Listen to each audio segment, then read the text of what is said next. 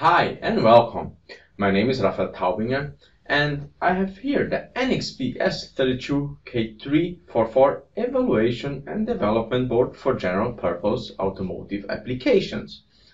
This video is about getting started with the NXP S32K344 evaluation board and the IAR embedded workbench for ARM for automotive applications.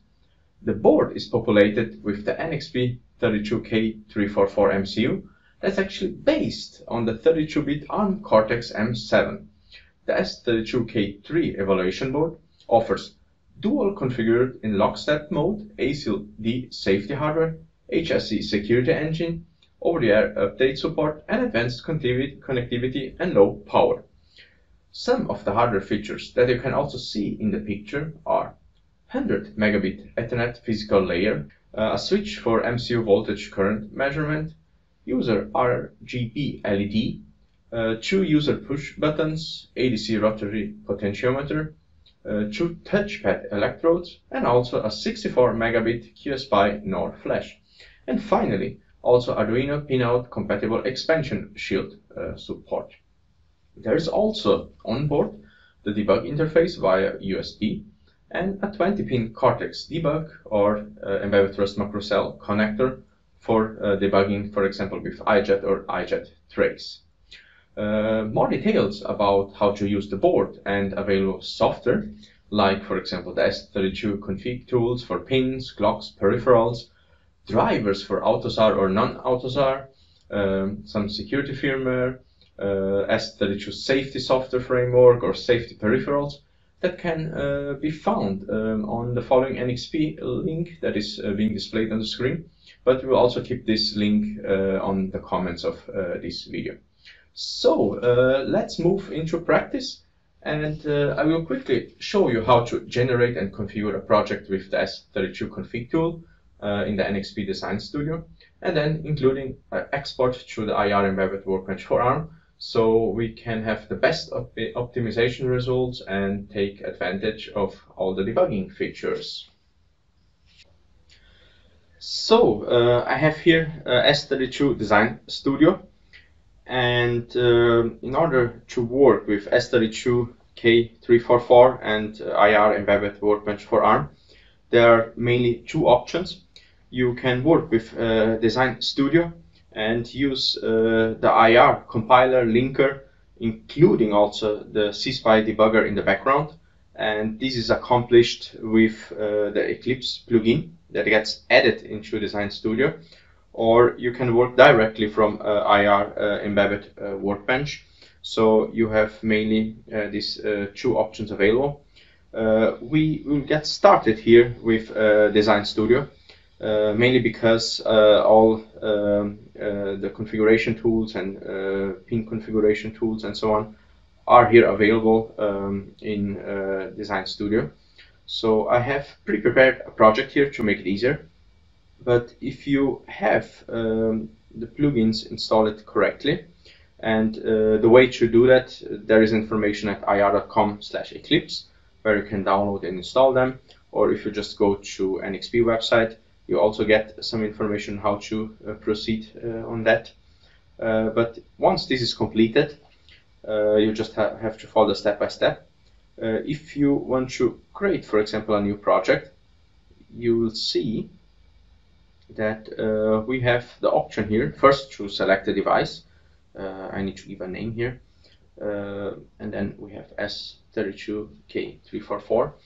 And when it comes to the tool chain, we can select the IAR tool chain here and uh, the path uh, to um, the utilities of course can be uh, defined. You might get asked for, for that path um, when you create your first project. But as you can see, uh, the IAR toolchain will be used here in the background. And that's exactly what I already have here in the project I'm using. And you can also do debugging directly here from Design Studio by using uh, the C-SPY uh, debugger. And if we go here to the debug configurations, you will mainly see uh, that we have here IAR C-SPY uh, debugger and um, we just need to make sure that under the setup we are uh, selecting uh, the correct driver and there are a few debug probes that are of course supported. iJet from IAR is uh, supported. Uh, there are a few others also uh, on the list here, even the simulator. And from here, you could just build and do the download and debug uh, to your board or, for example, this evaluation board. But um, just to show you that uh, the compiler gets invoked here, I should probably just make a clean here in this project before, and I can just do uh, the build uh, project. So we'll see uh, it's invoking uh, the IAR uh, compiler. it might take a few minutes here, but meanwhile, um, in parallel, I can also show you all about the configuration here. So we have the S32 configuration tools. So if I open here uh, the pin uh, configuration, you will see that uh, the code is already up to date. It's actually building. But if you want to do any changes here on the pins and the mode of operation, uh, you can of course uh, do it here and regenerate uh, the code. So very straightforward, all the peripherals, pin configuration, it's done um, in an easy way here. I mean, if you want to have a bit more general overview, of course, uh, you can also look here inside um, all uh, the capabilities. So if you want to use other um, components from uh, the SDK. Um, that's of course uh, also available uh, on the driver side and so on. So it's up to you on how you want to use this. Uh, good. So as you can see, I built my project successfully here with IAR, and from here I could actually go into a debug session, but we will save that uh, to run it from IAR embedded workbench. And the first step that I need to do and if you want some extra guidance, there's also uh, some steps documented here how to export an S32DS project to IAR Embedded Workbench. So uh, that's exactly what I will do now. And uh, if I go here to the options, I can go here to export and we will generate this XML file. And if I click next here, it should be straightforward. Configuration is debug default. We will finish it here and as you can see it's generated here some information from processor paths and so on so that's uh, what will be used later on in Embedded Workbench great. So that step is done here. And now I can move here to IAR Embedded Workbench. And the first uh, step here on IAR Embedded Workbench is to create an empty project. So we create a new project empty. I already have that step completed to make it easier. So what we need to make sure is that the project connections are enabled. So if I just double check here that enable project connection is active here, that's good. And from here, we can actually go to the options and add the project connections.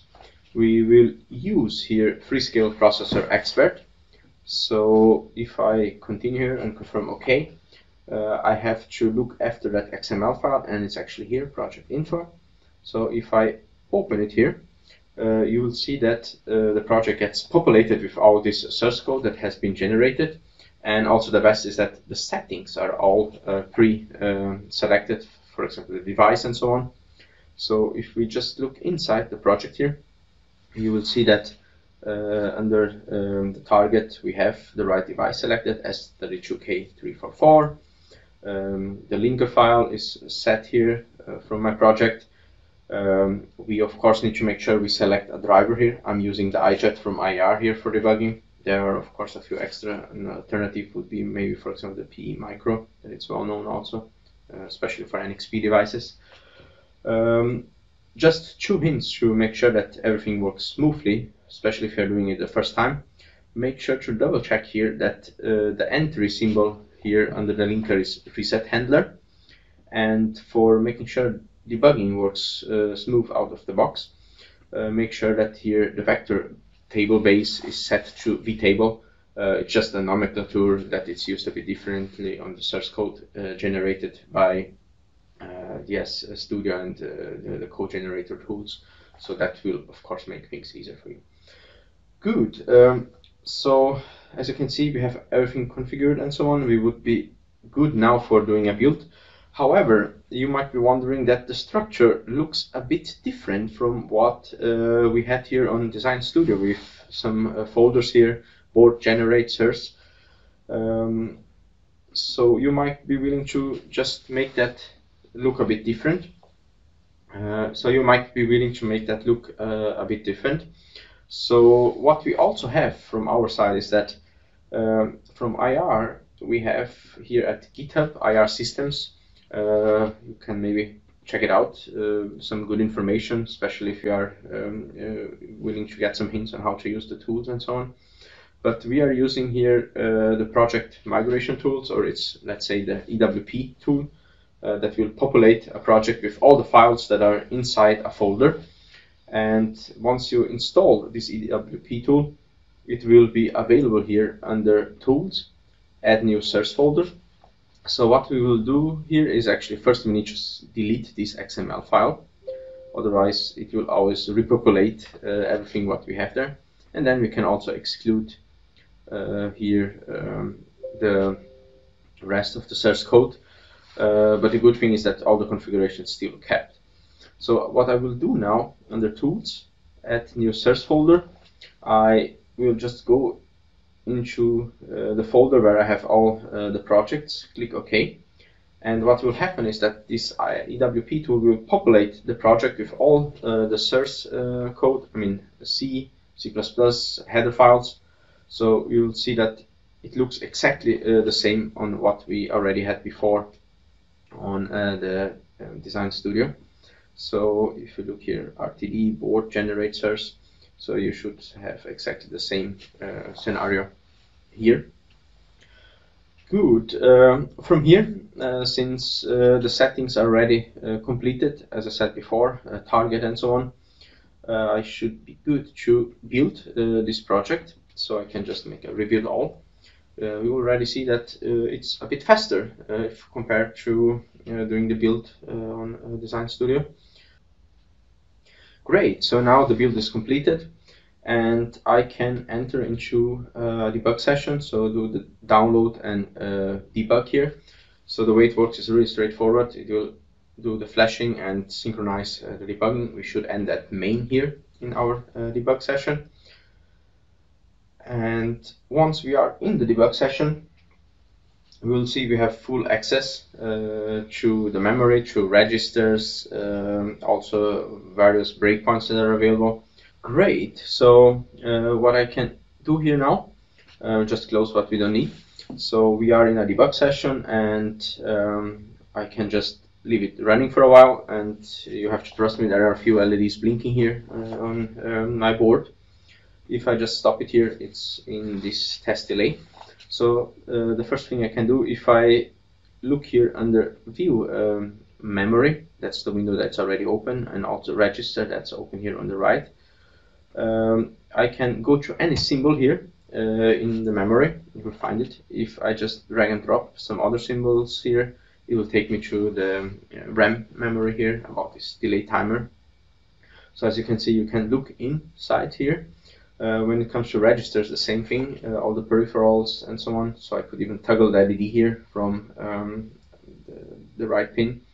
So everything very handy and useful. So you can do a step by step here uh, on the C code or either on assembler. If I click here, you can see that the arrow just moves from one side to other.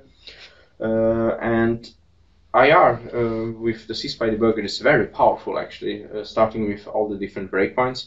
So we have uh, normal code breakpoints, uh, but we also have log breakpoints. We also have uh, data uh, breakpoints uh, that can be used. So very useful, very handy, all uh, available for you here. So you can do the coding, build, debugging. Great. So I would also like to mention the functional safety edition of IAR Embedded Workbench for ARM that it's ISO 26262 certified so IAR systems with IAR embedded workbench and the NXP uh, S32K3 can of course help you uh, to accelerate the development of automotive applications. Thank you so much and I hope you enjoyed this video. And don't forget, please subscribe to our channel so you get updates for all the new videos we release.